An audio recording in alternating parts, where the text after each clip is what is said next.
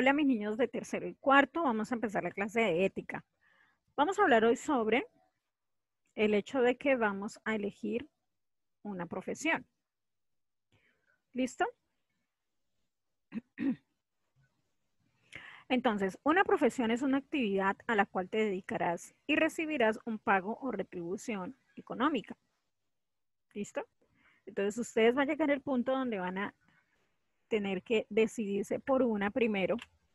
Sí, pueden ejercer varias, pero, es decir, pueden escoger varias y ejercerlas de cierta manera, pero hay una que va a ser más importante. ¿Listo? Es decir, digamos, yo tengo, conozco personas que, por ejemplo, estudiaron ingeniería, pero también estudiaron uh, psicología y también estudiaron algo de sistemas, entonces, y en diferente momento de la vida ejercen diferente, diferentes, eh, cada profesión diferente que estudiaron, ¿sí? Como otras personas se dedican a una y con esa se meten y estudian y hacen doctorados y se meten con esa sola. ¿Listo? Lo importante es que nos vamos a dedicar a ella y vamos a recibir un pago o retribución económica por eso que vamos a hacer. Bueno, vamos a ir al libro, a la página número 7 y 8. Bueno, entonces, vamos a leer acá, vamos a mirar cada una de estas profesiones porque son como unos modelos, ¿sí? Puede que dentro de estas estén los que ustedes quieren, puede que sí, puede que no. Elegirás una profesión. De acuerdo con tus intereses y capacidades, cuando seas adulto, elegirás una profesión. Esto es interés, esto es interés, esto es importante, niños. Los intereses y las capacidades. ¿Qué son los intereses? Lo que me gusta a mí.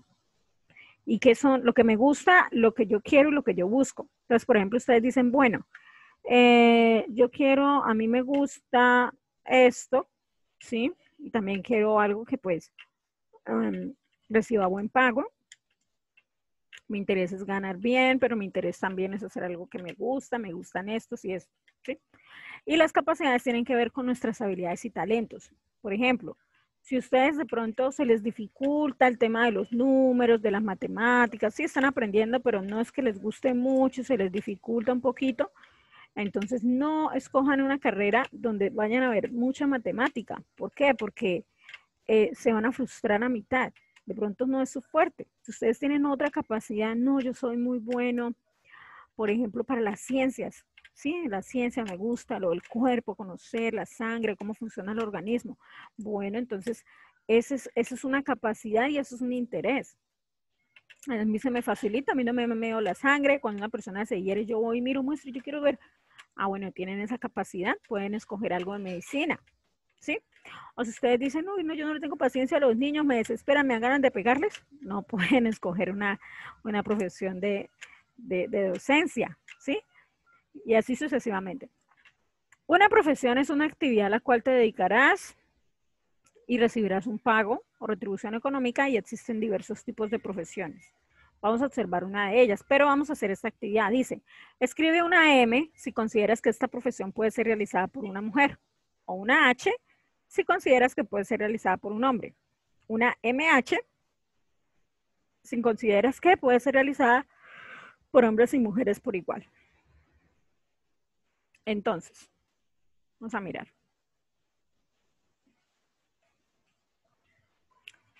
El enfermero. Ahí está. ¿Será que ponemos M? ¿Será que ponemos H o será que ponemos MH? Yo pondría MH porque aparte que considero que sí lo pueden hacer los dos. Ahora, es mi opinión, ustedes pueden tener otra. Esto, eh, conozco enfermeros hombres y enfermeras mujeres. Obvio, ¿no? No van a ser enfermeras hombres y enfermeros mujeres. Conozco enfermeros y enfermeras. Pilotos de helicóptero. ¿Ustedes creen que pueden hacerlo hombre, solo hombres, solo mujeres o hombres y mujeres? Yo considero que lo pueden hacer también los dos. MH. Carpintero. Bueno, el carpintero considero que es más trabajo de hombre, porque es un, trabajo que requiere fuerza, manejar herramientas siempre exige, ¿no? Yo considero que esto lo puede hacer un hombre. La docencia, los dos, ¿cierto? De hecho, pues ustedes tienen profes hombres y profes mujeres. MH. El agricultor. El agricultor es la persona que se encarga de cuidar la tierra, sembrar plantitas, cuidarlas, cosechar. También los dos. Aunque es más para hombre, pero en el caso, mi hermana tiene una finca y ella trabaja con mi cuñado allá en la finca sembrando y haciendo todo el trabajo. Eso. Por eso puse MH. Ama de casa, MH. Son cosas que tanto pueden realizar hombres como pueden realizar mujeres. Constructor. También MH, pero en este caso voy a dejar solamente la H por cuestión también de que es un trabajo que requiere, eh, tiene como muchos riesgos, ¿sí? Y también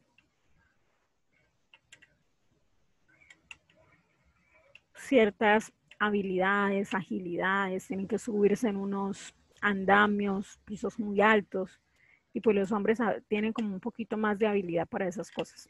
Aunque hay mujeres obviamente que también las tienen, ¿no? Pero en general, los hombres tienen un poco más de habilidad para esas cosas.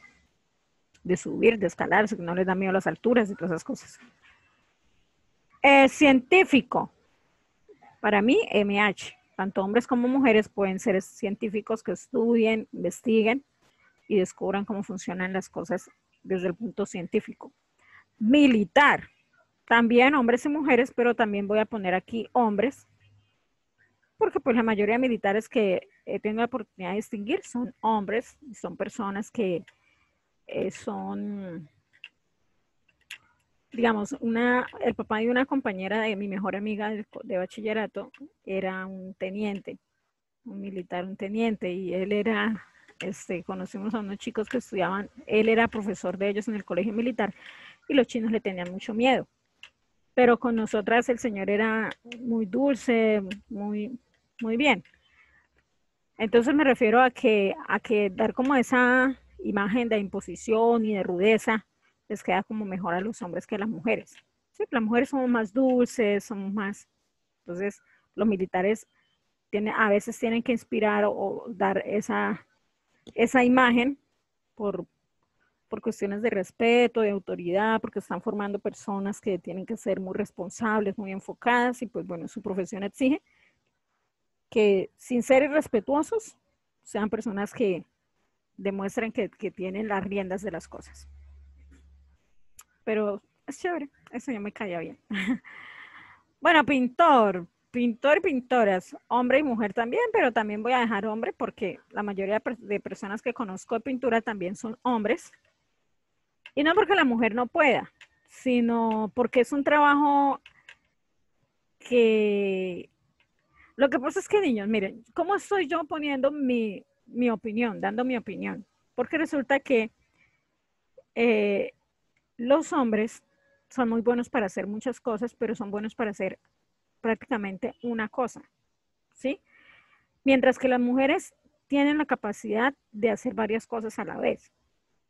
Entonces, por ejemplo, eh, ¿por qué hay más amas de casa mujeres? Porque en la casa hay que cocinar, hay que hacer aseo, hay que atender los niños, hay que contestar el teléfono, hay que recibir las visitas, muchas cosas a la vez, ¿sí? Y la mujer tiene, tiene, a tener un poco más de destreza en esas partes. No es que el hombre no pueda, sino que a la mujer se le facilita más.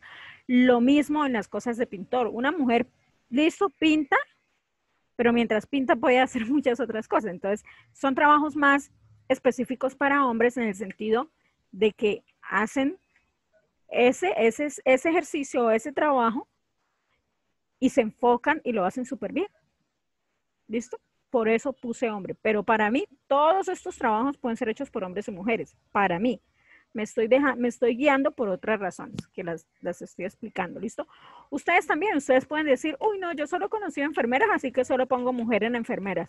Ay, no, yo solo he conocido eh, científicos hombres, voy a poner solo hombres. Y así sucesivamente. Cada uno va a tener un criterio diferente. ¿Listo? Bueno, en cuanto al arquitecto, bueno, arquitectos yo sí sé que hombres y mujeres porque a diferencia de la construcción, para la arquitectura es más un trabajo eh, mental y de, de hacer planos y desarrollar, desarrollar esto, diseñar y crear y bueno, hacer otro trabajo previo a la construcción. ¿Listo? El periodista, hombres y mujeres también. No solamente porque en la televisión se ven. Ah, yo estoy poniendo HM. Era MH, ¿no?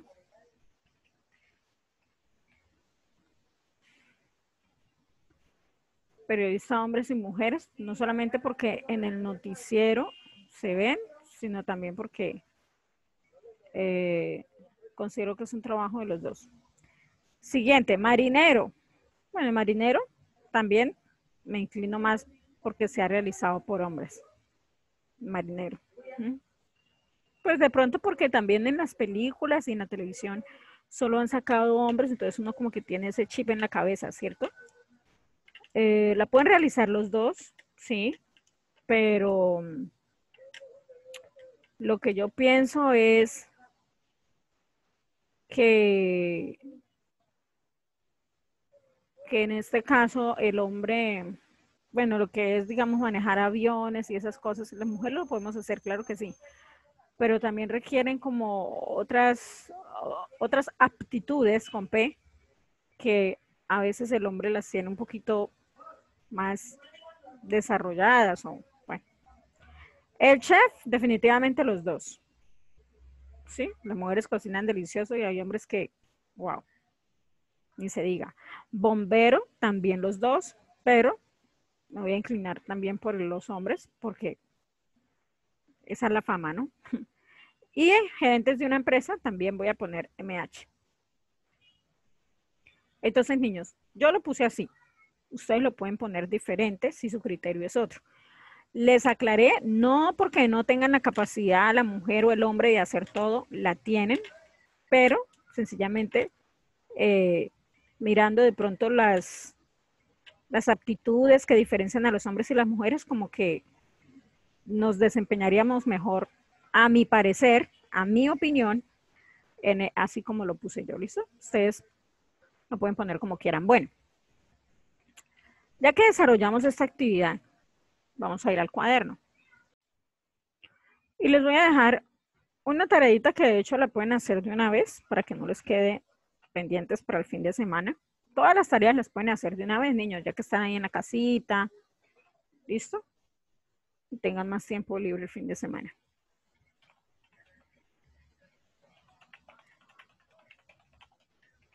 Realizo un mini cartel. Esto es para ustedes. Esto es un regalo para ustedes mismos con la profesión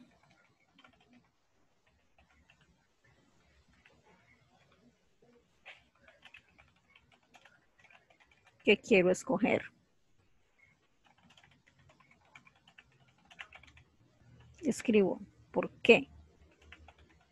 Uso dibujos, recortes, etcétera. Bueno, acá, si ustedes dicen, yo quiero hacerlo en plastilina, lo pueden hacer en plastilina, con recortes, con dibujos, con foamy, con lo que quieran, ¿listo?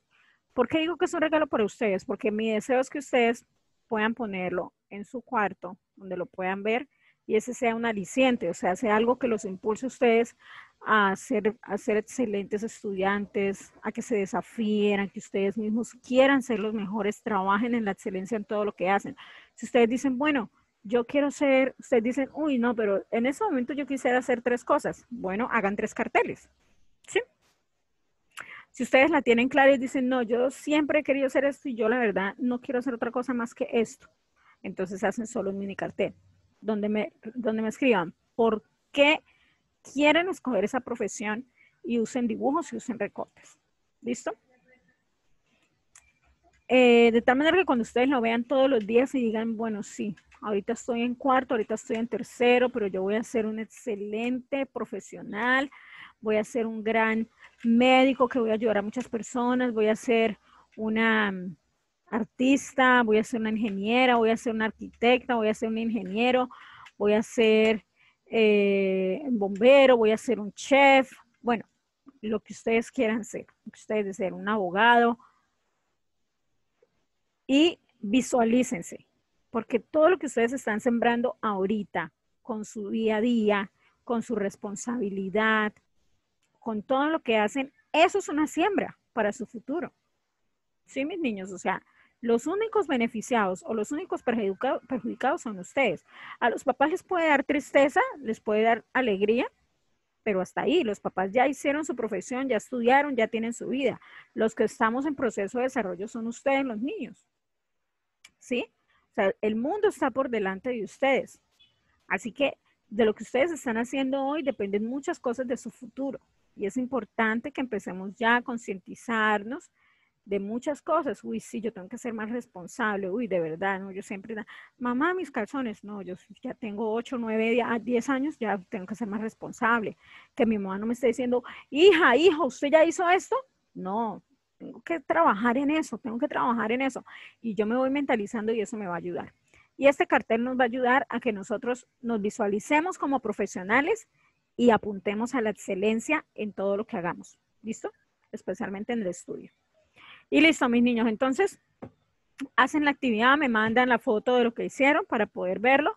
Y en una clase de las 7 de la mañana quiero que lo compartamos para que inspiremos a los niños pequeños, a los, a los grados más pequeños, cuando les llegue el momento de hacer esta actividad, puedan decir, uy, cuando yo estaba en primero, en segundo, unos niños de tercero y cuarto hicieron algo tan lindo de las profesiones y eso me impactó mucho el corazón. Y yo, ¿listo? Vamos a trabajar por inspirar a otras personas, por ser inspiradores. ¿Listo, mis niños? Y listo, mis amores, terminamos la clase por hoy de ética. Chao.